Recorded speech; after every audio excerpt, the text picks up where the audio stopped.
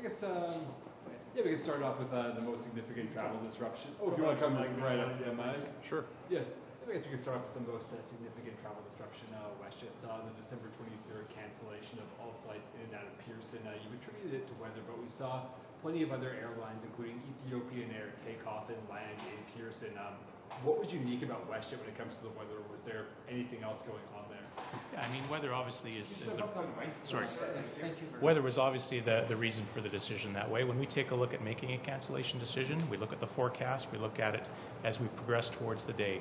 We did not want to get ourselves into a situation with the incoming weather where we were making cancellations like the public had seen for the days prior, canceling in the moment. What we wanted to do is be proactive and have the ability to allow people not have to drive in in the inclement weather and have a reset for the next day going into, uh, into uh, 24th and 25th. So issues with uh, labor and flight crews uh, not a factor whatsoever. No, no. What we were doing is, as we saw it, we'd had uh, days earlier there was gridlock in um, in Vancouver.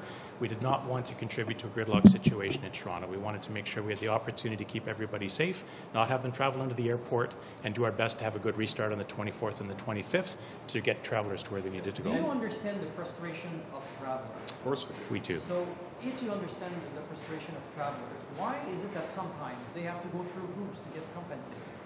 We, ha- we have a regulatory obligation. I- I'm not sure what you're referring to with respect to hoops. We have an obligation to respond and, and answer claims within 30 days. That's the rule in Canada, and we meet that obligation. We respond to consumers within 30 days. A very small portion of them do then go to the CTA, which itself has an 18 month long backlog. And we're asking the government as well. We want that backlog to be eliminated on behalf of our guests. So that's the, pro- that's the process as it stands hiding- today. Hiding behind the 30 day that the regulation forces you to, instead of going as fast as possible. Isn't it what the problem seems to be here, as far as passengers don't care about the No, regulation? no one is hiding behind anything. This is a process everyone understands. And it's not that every claim is done on day 30, some are done earlier. My point is that if you have a complaint with the operations and the decisions and what has impacted you from our company, you have the ability to complain to us and file a claim. And our obligation to, is to respond to you within 30 days. If you don't like that response or you disagree with that, that response, there is a regulator there for you, and that process is taking 18 months. And we've made that observation today. In situations like this, why is the onus on the passenger to file a complaint for like you looking at some of the major cancellations or delays? You have a full flight manifest, you know exactly who these people are, their birth dates, their payment methods, where they live. Why is the onus there? Why can't you just go to the flight information and proactively do this? There's a few reasons for that. The first is that uh, not every guest on our plane is the same.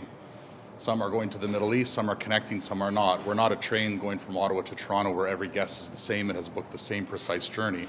So the regulations are based on where you've arrived in your final destination. So that, that is point one. The second point is that every traveler is different.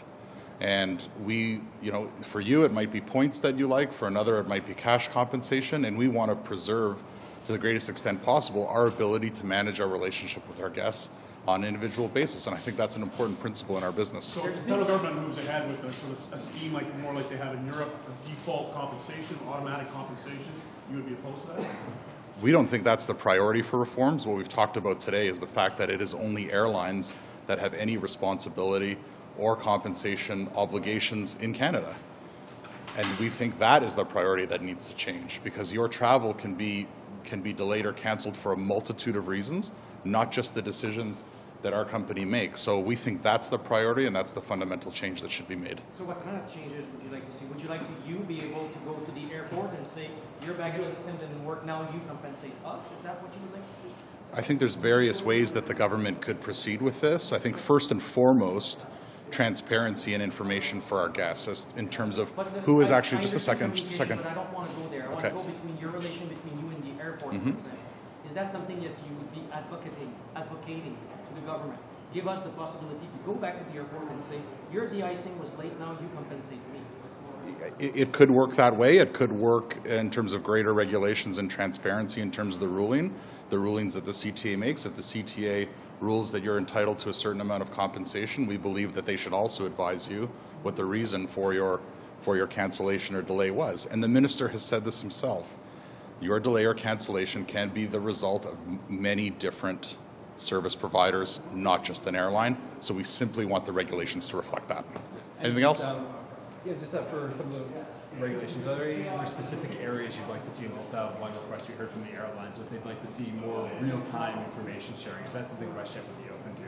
Real-time information sharing by, on, by whom? Flight status for uh, delays, just to notify their passengers. So they're saying they're lacking in that real-time information. I don't know what the, Oh, well, the answer is to that. Sorry. Oh, it was just one of the uh, requests from, um, uh, you know, Ms. Ruman. Uh, you, I know you were in the room um, when she was mentioning this. They were talking about wanting more real-time information from the airlines so they can notify their passengers about delays. Is that something WestJet would be open to? I think that's part of our process. We have a lot of work to do with our airports. You've heard different testimony on tarmac delays and who does what and when, and I think there's a lot of work for us to do with our partners to iron out some of those things because we all agree that tarmac delays and those things are unacceptable for a traveler. really travel season coming up with spring break, uh, March break. Um, are you going to do anything differently to prevent this kind of thing from happening again? Well, I think what we've said today is that there's two main priorities of focus for us coming out of this. One is how we communicate with our guests when things go wrong. We've definitely heard them loud and clear that that can be improved, and we're seized with doing that. And second is overall improvements to our baggage management and communication. So those are the two areas on top of a broad lessons learned, but those are things that we think that can improve for when things go wrong. When things don't go wrong, we are running a very good airline that is on time and is one of the best in North America. When we have serious disruptions like the summer and weather, obviously those are the questions that we were getting today about what happens when things go wrong. But when these existential events don't happen, we are running a very good airline on behalf of the Canadian public. Okay, thank you.